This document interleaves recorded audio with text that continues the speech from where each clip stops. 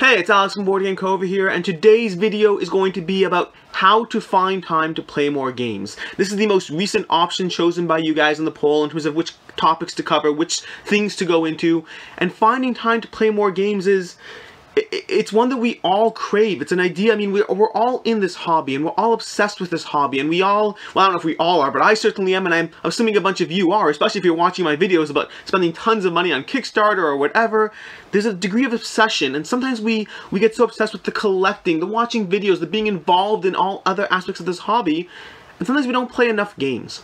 And there's a variety of reasons for that. And, and sometimes it's just about making gaming, not, not gaming as a universe, which we all do already, but making playing games something that actually happens. It's often about prioritizations. And so in today's video, I'm going to go through seven tips that for me, they have definitely been a factor of how I play more games. For those who don't know already, I have a day job. I, run Board Game Co., which is a board game website that we buy, sell, and trade games. I now have this YouTube channel. I have a wife, four kids, and yet I play still in the range of 700 games a year.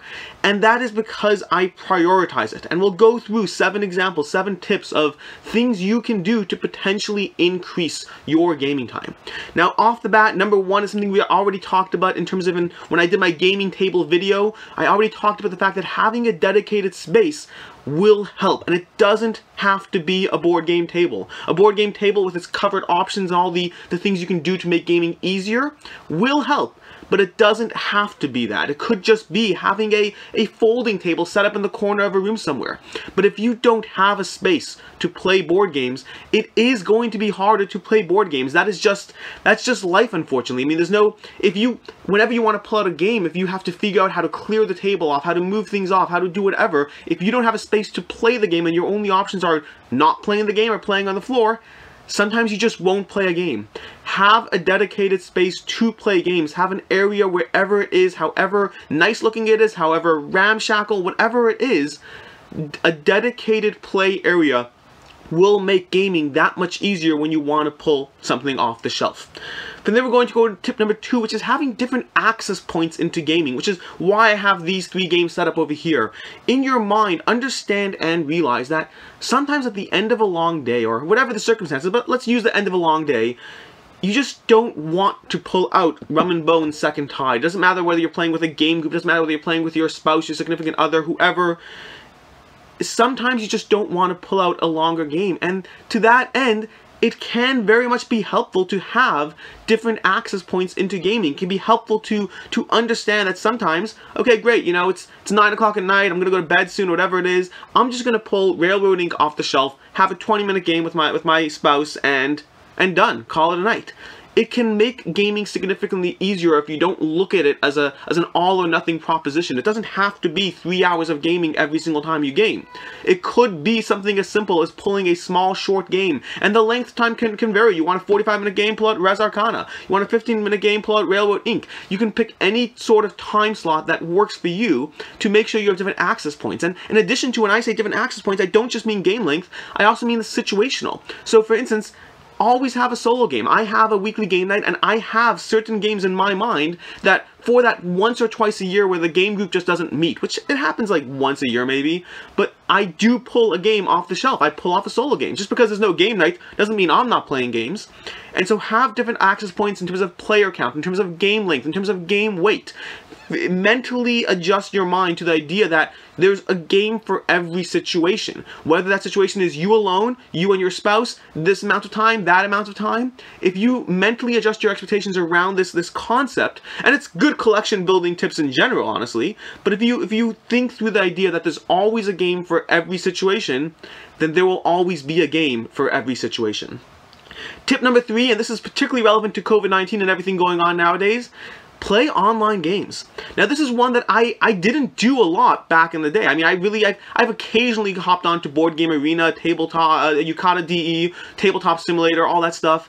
But I didn't make it a focus of my life until COVID-19, until our options were no games or moving game night to online. That's when I embraced online gaming. And while I, I miss in-person gaming. I miss having my regular game night in person, and I'm, I will 100% go back to that as soon as it makes sense to do so. I still play games in person with, you know, select groups of people, like a very small group, my wife, my one or two friends, but at this point, most of the game night has been moved to online. But there's been a side benefit of, of the ability to just hop on a game, just, you know, you're all in front of your computer, you have a WhatsApp group of the people who play, you're like, hey guys, you know, anyone interested in an hour-long game of Bruges? And people will jump in. There is something more accessible to being able to play a game online. Something easier to, once you know the game, once you have the people, to just say, great, you know, forget scheduling a three-hour game night, forget trying to sync up our schedules of who can leave the house, who needs a babysitter, all that stuff. We're just going to hop online and play board games. One of the best uh, side effects, and obviously COVID-19 is a bad thing, but there have been beneficial side effects, and one of that, to me, has been my understanding that playing games online can be very useful. It's also been a great way to reconnect with friends who moved away. We've had game group members who moved away that we have been playing online games with. But just the that that, that part, the whole ecosphere of online games is a different conversation for a different time. But the idea that you can have more accessibility to gaming by being willing to hop in front of a computer, put your headset on, pop up a Zoom meeting, and play a game on Yucata or wherever, that certainly is something that makes gaming more accessible. Number four is the gamification of gaming. Now, gamification, if you're not familiar, is gamification is the concept of turning something into a game to make it more appealing. So, for instance, there's many task manager systems that give you like points and rewards as you complete your task. It's gamifying the process of completing your work. But in this case, we're going to gamify gaming, and I, what I mean by that is get an app that tracks plays. Now, for myself, I recommend, I believe it's called Board Game I can't recall. I'll link to it. I think it's Board Game Plays or Board Game Stats. I'll link to it down below. But it is an app. It's on Android. It's on iPhone. There's a free version, and then there's a you pay a dollar or two to get challenges, which I do recommend getting. Now, it just lets you track your plays. And you can do this on Board Game Geek as well. There's a variety of options to do stuff like this. But when you track your plays, it it gamifies gaming. There's this idea of I want to I want to log another play. I want to log. The way I know I've played 700 games a year is not because I just think that's the number. I wouldn't actually think it's that high, but I, I, I track my plays. I know that on a given year, I play about 120, 130 new games and about 700 games total. So I have a 5 to 1 ratio of new to repeated plays. And it, it really, really makes gaming that much more appealing, especially when you start setting challenges. And it sounds stupid, and it, I mean, these things are stupid, but gamification is genuinely used to make your work life more productive. How much more efficient can it be when it's talking about playing games, which is something we enjoy, as opposed to something that we might be a little more tedious? So gamification does work. It is a good concept. The idea that I know that I have set challenge for, challenges for myself. I've set a 10 by 10 challenge. I'm going to play 10 games 10 times in 2020. I've set a 5 by 20 challenge. I'm going to play 5 games 20 times in 2020. I have set a 150 new games challenge in 2020. I set myself every year, I set like five or six challenges of different types to encourage me to just, when I'm tired, when I'm not in the mood, when something is preventing me from actually pulling off a game, I pull a game out and play it. Gamification is a concept that works, and it's a concept that I highly encourage to get yourself to play more games. As I'm sure you're well aware, not playing a game doesn't mean you don't like gaming. Sometimes it's just not the easiest thing to pull out, to set up, to get to the table. But as soon as you do, it's fun, it's enjoyable. In no way am I advocating playing more games if you don't want to. But if you have that little hump that you need to get over, gamification and a variety of these tips we're talking about can certainly help. From there, we're going to get uh, going to go into a bit of a cop-out answer because, as you know by now, I'm Jewish, I'm religious, I, I keep the, the, the Jewish faith, I practice the faith, and that does mean that I am offline from sunset Friday night to from sunset from sunset Friday night to sunset Saturday night, I am offline. No phones, no apps, no computers, not doing anything. We use electronic, we use the benefit of electronics, so we have lights on, but we can't turn a light switch on or off. Anything to do with electricity is off limits, which can sound incredibly restrictive, and there's a whole religious reason. I'm not going to get into the religious aspect of it, but what I will say, although I'll note, if you've ever tried getting a hold of me on Saturday and you're wondering why Board Game Co. works on Sunday and not Saturday, that's basically the reason. But the benefit of it is that from a religious stance, from a stance of I will not be on the computer, I will not work, I will not do all the things that make gaming harder, I have a full block of time every, again, Friday night through Saturday, where I can play games, where playing games is basically the only in terms of fun, in terms of like, you know, in terms of fun things to do, watching movies, playing video games, all those are off the table. But I can play board games, I can socialize. Those types of interactions are eh, eh, primed for that being offline, for forcing myself offline. And so this tip is not to, you know, become Jewish and have Saturday off, but rather understand the value of locking down time. Understand the value of saying something like, you know what, Sunday's my day off of work, or Saturday's my day off of work. I will not touch the computer. And it's hard. I recognize it's hard. When I go on vacation with my wife once a year, we usually go to Ravenwood Castle, and we used to go to Ravenwood Castle because they had no Wi-Fi. That was one of the perks. I couldn't work even if I wanted to. I couldn't pull out my computer and respond to emails to make sure that things weren't clogging up. I had to be present. I had to be in the moment. And unfortunately, they got Wi-Fi, but we still go there. I just, I've built up that habit to a degree, so it's easier. But it is very hard, and if you can't do a full day, which I imagine most people won't or can't, pick a seven-hour block of time somewhere on the weekend just to spend time with your family, your friends, yourself, and play board games. The idea that work is off limits, the idea that video games, movies, all that stuff is off limits, your phone is off limits it is a very hard principle to adopt for sure if you're not if you don't have a religious you know thing behind you pushing you to do it it's definitely something hard to do but if you can, you will you will you will be rewarded for that. it, it is the idea of having blocked off time. Like for instance, when I go to game night, I my phone's away by game night because the last thing I need doing game night is to get an email that I feel needs to be responded to. It was totally fine if I didn't see the email, but once I see it, I, I need to reply to it, and now I'm tossed, I'm torn between continuing to play the game versus taking four minutes out and dealing with the email. These things, we live in this completely connected world, which can have perks in terms of online gaming or other aspects, but it certainly can have a downside as well, and, and if we can train ourselves to pick a block of time every week, and start small if it's easier, start with a two hour block of time every Saturday, and start widening it as you see how beneficial it is.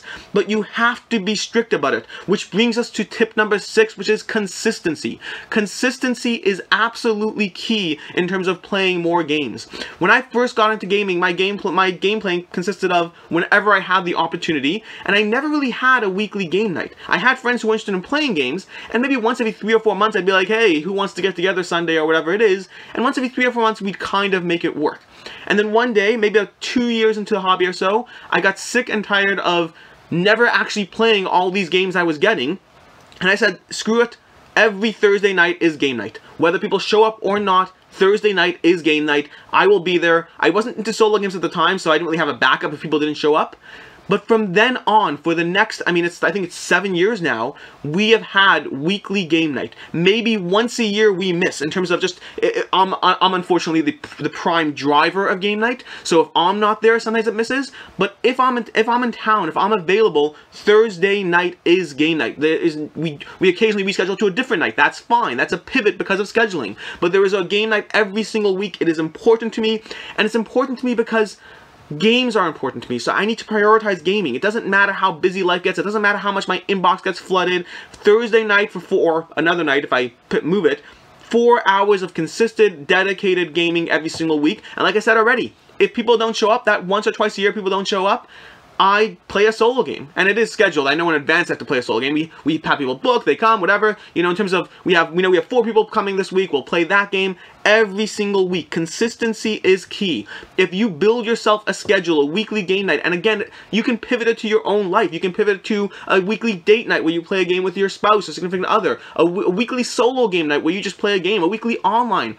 or whether it's twice a week, three times a week, whatever it is, if you prioritize it, if you make it consistent, if you make it part of your schedule, consistency in this in this concept is key. And that applies to other aspects of your life as well. I spent the first five years of my marriage just dreaming of having a weekly date night, and we never did. And then a few years ago, maybe two or three years ago, somewhere in that range, we finally settled down. Sunday night is date night. And we'll either watch a movie, play a game, whatever it is, often at home. Unfortunately, having kids makes out, out time, uh, going out events much more expensive. But we, we have a weekly date night because once I said, this is happening, this is important to me, I don't care what else is going on, I will make this work, then it works.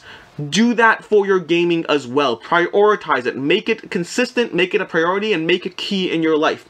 Which brings us to tip number seven, which is the deprioritization of anything else that isn't important enough to you. That sounds like a bit of a dramatic statement, but I remember once I went to a business class, I went to a, a business course for management or whatever, and the woman giving the, the presentation, one of the things she talked about was the concept of a plate. That very often in life we have a plate of time, and picture it as a plate of food. You put one thing on the plate, you put a little mashed potatoes on, you put a little chicken on, a little bit of pie.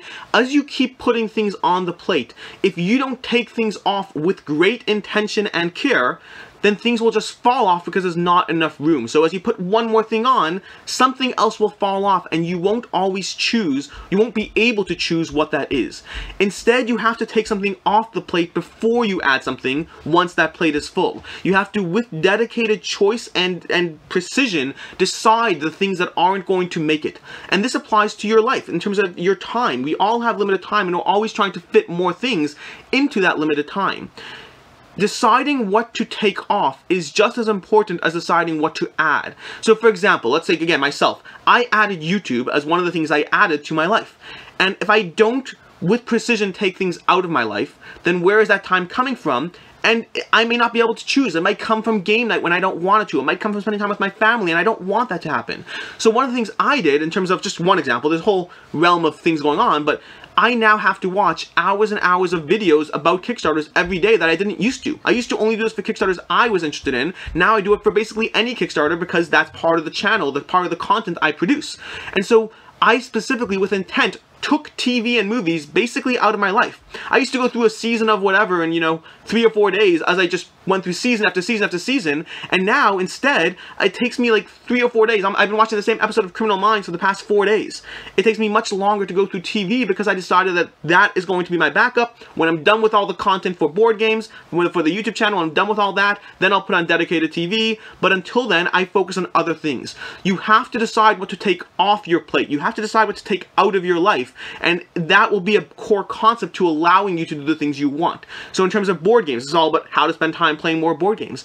In terms of board games, what I have done is I there are many aspects, there are many things I like doing. I like watching movies, I like playing video games. There are many things that I like doing that I no longer do. I like painting miniatures. There are so many things I want to do, but I've decided that I am basically done with video games. Once in a while I'll pull up a new video game, play it for a bit, but I used to play a ton of video games. Board games took the place of that in my life, with intent. I don't try to do both. Trying to do both will mean you means you'll fail at one. I instead said I am not playing video games. I'll make occasional exceptions. I am excited for Far Cry, uh, Far Cry 6, but with the occasional exception aside, I decide what it is I'm going to do with my time. I don't play video games, I play board games. I stopped trying to paint minis. I, I started getting into it and it was fun and I liked it. I used to paint way back in the day, but I stopped trying because I have to choose what to do with my time. I don't want to paint minis, I want to play board games. I will hopefully paint minis eventually. I really want to get back into it, but I have to find the time first. Every aspect of our lives, choose the things that don't matter to you as much. I used to be a huge reader. Used to be a huge reader. Now I read a few books a year because most of my time is spent reading rule books. And again, I, I want to say this again and again. I want to make it very clear. Don't try to do both and see which one wins because you may not be happy with which one wins. On a regular, frequent basis, we make decisions about how to spend our time and we're not always happy with the end result. Decide without the pressure which one you want to do more and then focus on that. Trying to do both will mean you'll lose at both, or you run the risk of losing the thing you want. So prioritize board games by deprioritizing everything else in your life that isn't important to you. Pick your hobbies that aren't important to you. Pick, and this is for all aspects of your life. If, if, if spending time with your, your spouse or your kids is important to you, make sure that is part of your schedule and take something off your plate that is getting in the way of that. You can't just hope to get it all done. You have to decide with intent what won't get done. So a quick recap of those. I'm going to use my, my note card, which I've been hiding behind that. Number one, have a dedicated space. A dedicated playing area will help. Number two, different access points to gaming will be a big deal. Having short, small, long games, different player counts, those will all help. Number three, play online board games. They will give you access points into the hobby when you just don't need to, don't want to leave the house, can't leave the house, and want to get together with your friends. Number four, Gamify gaming. Track plays using a board game app. Number five, have a dedicated block of time that you pull off. Whatever that dedicated block of time is, Saturday, Sunday, whenever is ideal for you, start with a two hour block and expand it. And when I say dedicated, I mean no electronics. Shut yourself off from the world and from all distractions. Number six, consistency. Have a weekly game night once a week, twice a week with whoever you want, yourself, your, your spouse, your friends, whatever you want, but have consistency in your gaming. Make it a core part of your life. And finally, number seven, deprioritize the things. Again, I want to be very clear. It's not prioritizing gaming. It's prioritizing gaming through the deprioritization of things that are less valuable to you than gaming. Take the things out of your life that aren't adding as much value to your life as gaming is and find a way to, to through that taken away, add to your gaming. I hope you enjoyed this video. I hope you found it helpful or in, in, some of these tips, you know, gave you something to think about. If you have your own tips, please leave them in the comments down below. I had a few more tips that I just wanted to cover and I tried to limit it to seven for just the sake of time. But if you have more tips, I will probably be doing an eventual round two of this, more tips to uh, game more, more tips to play more games. And if I can add any of yours to my list, that'd be great.